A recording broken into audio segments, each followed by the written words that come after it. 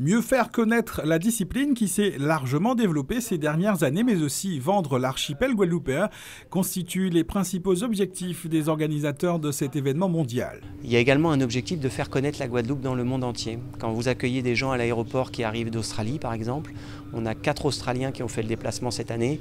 Ils passent plus de 25 heures dans les avions et ils arrivent chez nous, en Guadeloupe. Et ça, je crois que c'est intéressant de se rendre compte qu'à travers des événements comme le nôtre, on fait connaître la Guadeloupe au monde entier comme une destination phare ben, des sports de pagaie et de l'océan racing.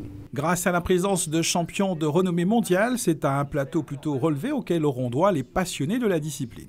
le plateau cette année, c'est d'abord la présence du vainqueur de l'édition 2009 et 2011, à savoir euh, David Mock, qui est tout simplement euh, le numéro 1 mondial et euh, qui, pour, qui vient d'Afrique du Sud chez les demoiselles, on a également la numéro 1, euh, Ruth Heitmein, qui vient d'Australie et qui est euh, leader mondial de la discipline. 170 participants, 30 compétiteurs internationaux.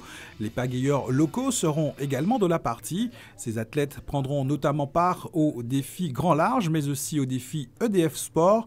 Partenaire de nombreuses manifestations, EDF Archipel Guadeloupe associe son image à l'événement dans le cadre de la protection de la biodiversité et de l'environnement. Cette manifestation nous intéresse aussi d'autant plus qu'elle euh, euh, s'ouvre à un large panel de participants, que ce soit les jeunes, que ce soit des personnes en situation de handicap.